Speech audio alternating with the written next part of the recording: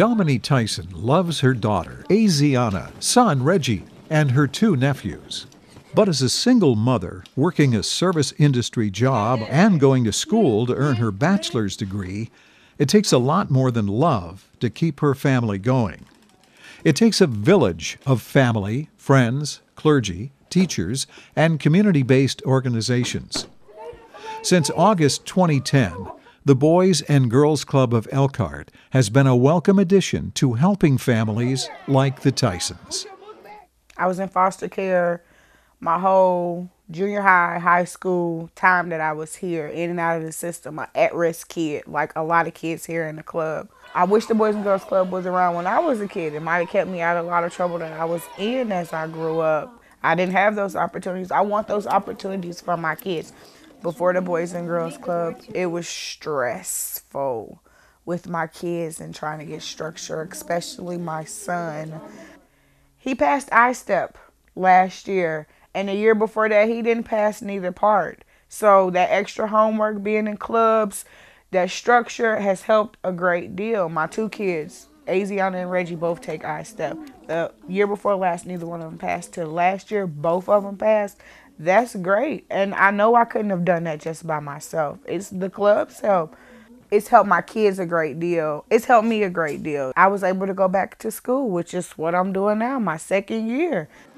The Boys and Girls Club of Elkhart has grown rapidly from 100 kids in late 2010 to serving a current membership of 670 today. On average, 336 children show up Monday through Friday immediately after school until 6 o'clock at night. They go to Beardsley and Osolo Elementary School for full service club programming. They go to Bristol Elementary for Power Hour academic assistance. At Northside Middle School, the Boys and Girls Club recently opened a new program. I'm so excited that we have just opened our after school program with the Boys and Girls Club here at Northside Middle School.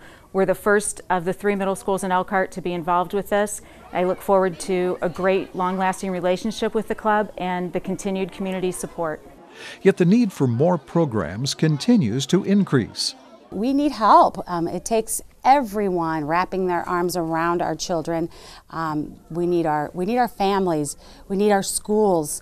But we also need that extra piece that Boys and Girls Club provides for our students. The support that they provide after school um, in their clubs with the academic piece, and not only the academic piece, but the social development, giving back to the community opportunities is, is amazing. And with all of those pieces, the chances for our youth to succeed, they have helped multiply that. They are a godsend to our community. The Tysons are an example of the turnaround that is possible.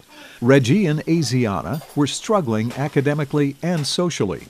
But after one year at the Beardsley Elementary Boys and Girls Club, they both saw the positive changes. When I first went to the Boys and Girls Club, I was in third grade. I had problems with my um, work in my classroom two years ago when I got mad. I always hid somewhere so they don't find me. Now I'm in fifth grade. I'm a junior helper. I'm doing everything right. I'm helping kids with their homework, helping outside, and I'm having fun. I wasn't getting my homework done. When I came home, I would get in trouble if I didn't have my homework done. And now from this year, I'm doing my homework and I'm not getting in trouble anymore. The Elkhart Boys and Girls Club is an opportunity not just for the hundreds of local kids who want a share of what Reggie and Aziana have experienced, but also for the caring and responsible citizens of Elkhart who are wanting, willing, and able to rewrite a life story one child at a time.